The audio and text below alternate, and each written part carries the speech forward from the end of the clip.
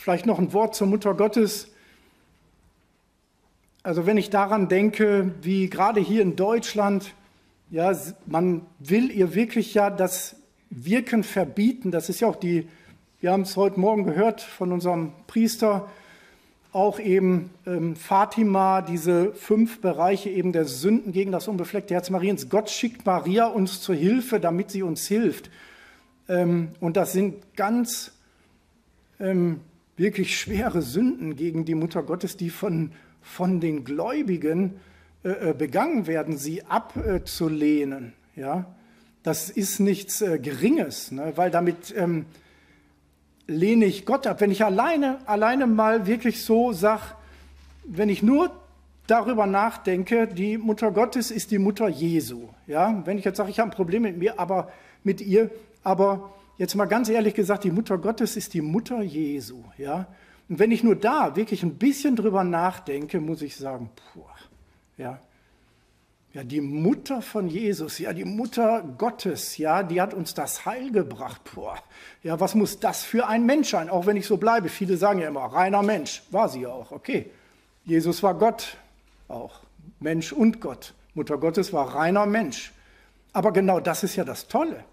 Ja, weil Gott uns damit zeigt, ja, wirklich werdet wie Maria. Natürlich, sie war vorerlöst, unbefleckt empfangen, ja, natürlich, die, die Gnaden der Erlösung wurden ihr im Voraus geschenkt durch das Opfer Jesu. Ähm, da beginnt eigentlich unser Heil auch drin, in dieser Unbeflecktheit Mariens.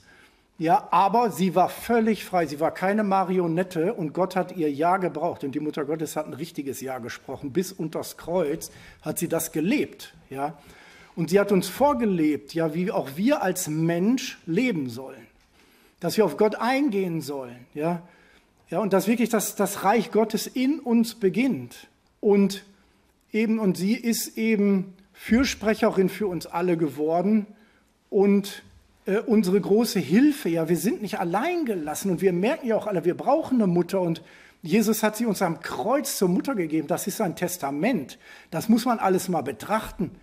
Ja, Jesus hängt am Kreuz im Todeskampf, ja, und gibt dann seine Mutter uns zur Mutter, ja, und sagt, siehe deine Mutter. Und wir müssen wirklich hinsehen, ja, und wirklich sie anschauen. Ja, sie ist da, sie ist lebendig.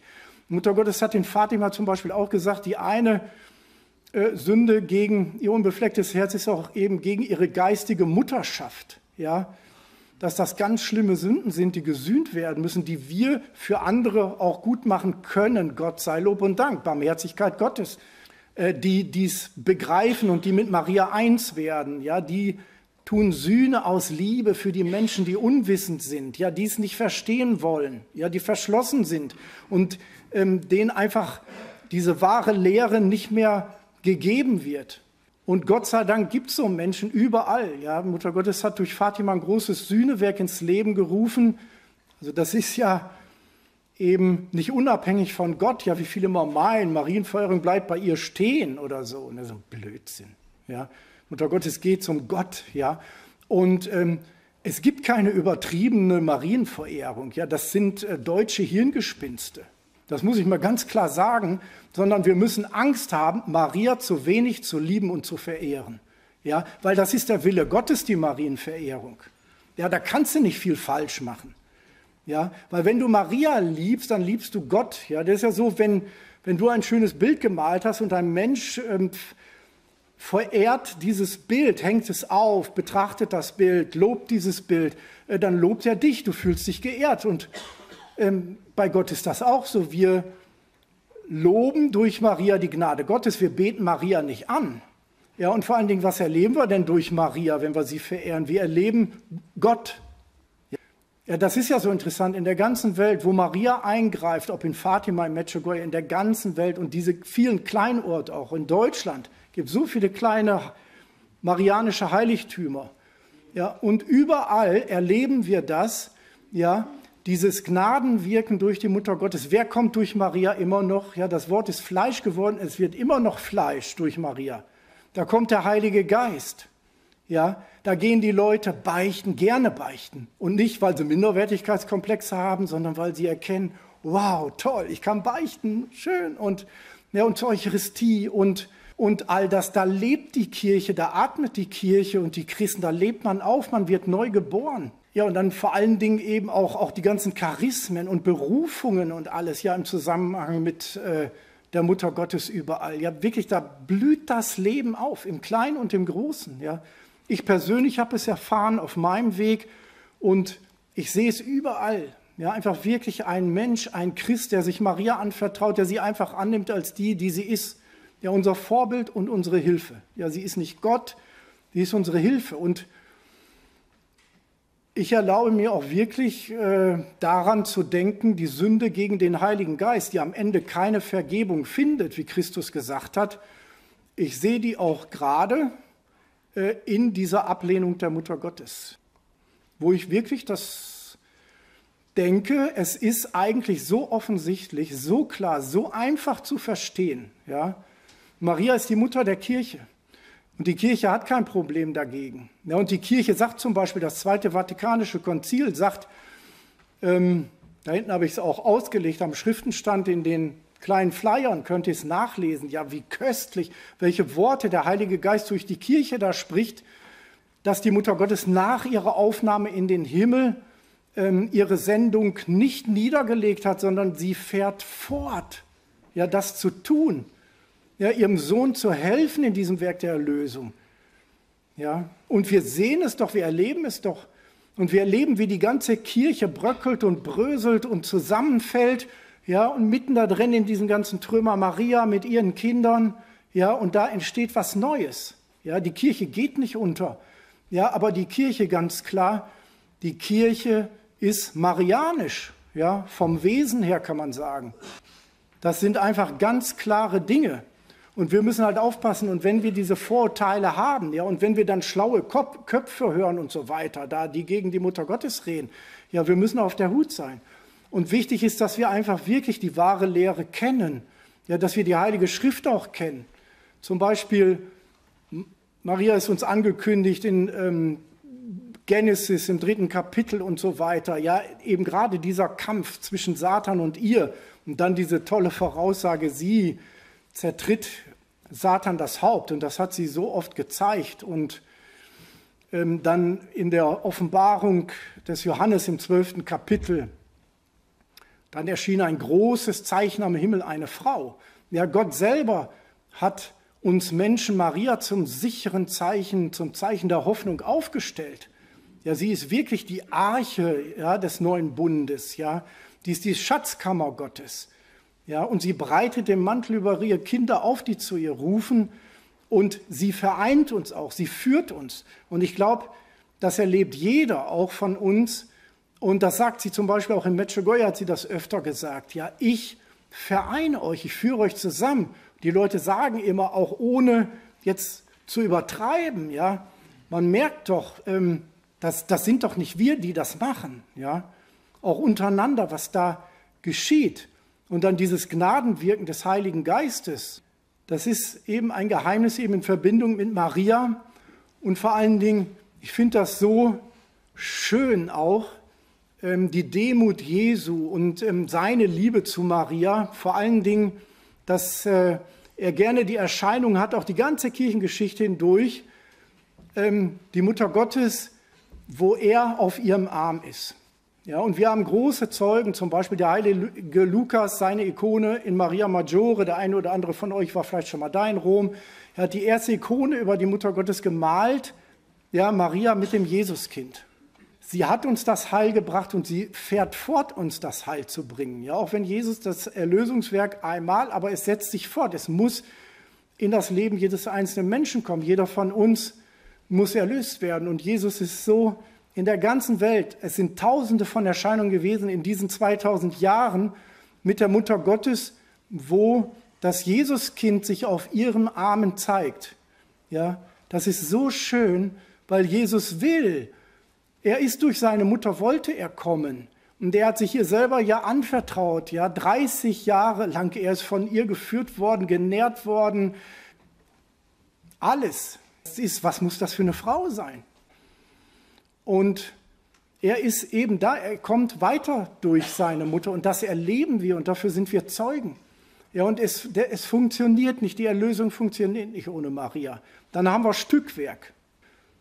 Also es ist ganz gesund, die Mutter Gottes zu verehren. Und dann vor allen Dingen, wie wichtig das ja auch alles ist, was sie sagt.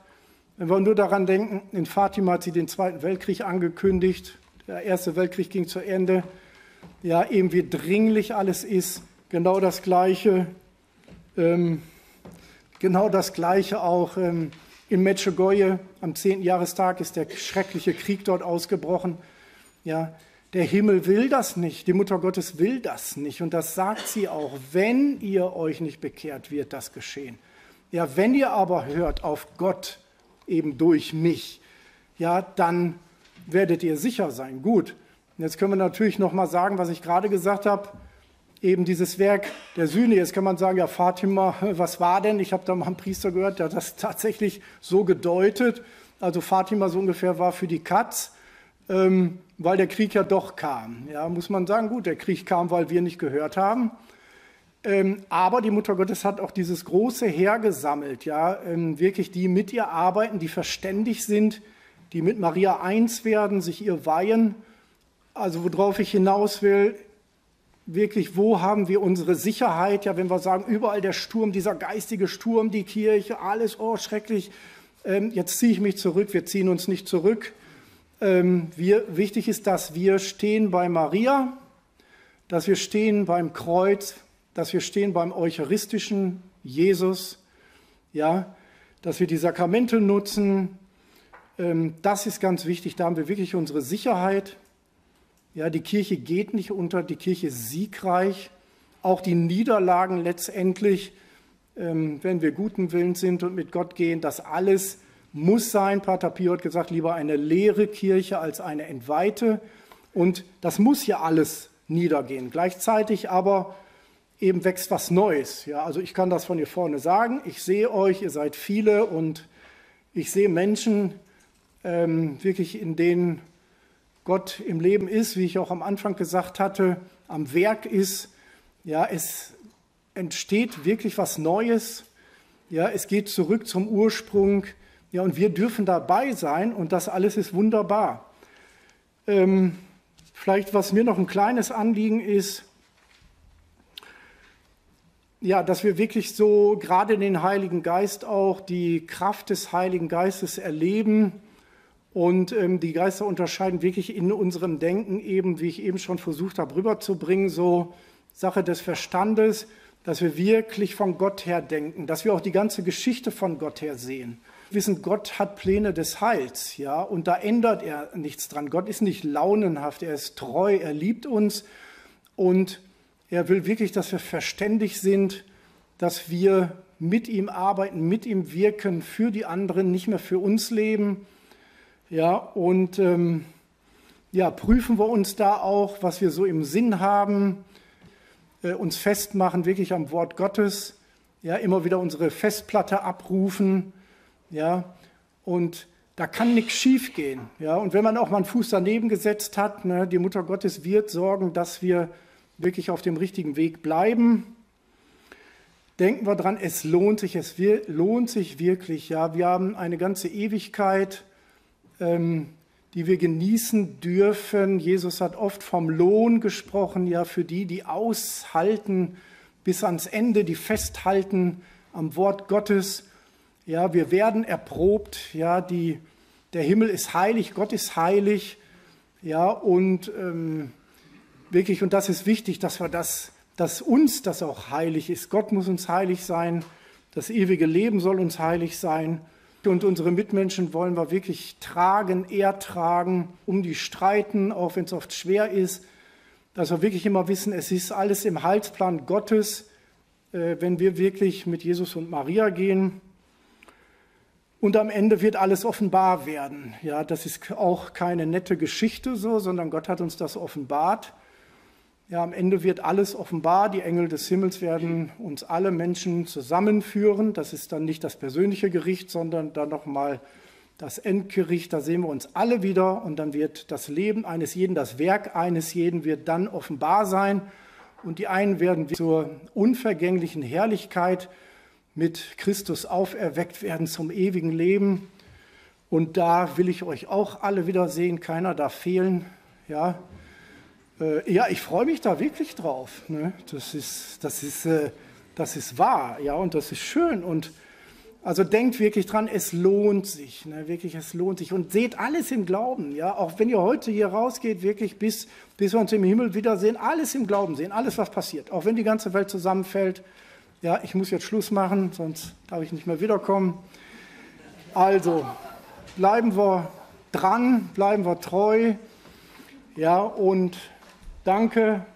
Und ich rechne mit euch, weil Gott mit euch rechnet. Und ne, tausend Dank euch. Ja. So.